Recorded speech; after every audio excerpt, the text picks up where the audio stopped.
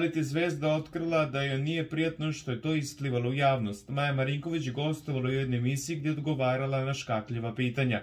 Jedno njih bilo je da li je njen intimni snimak izašao na sajtu za odrasle.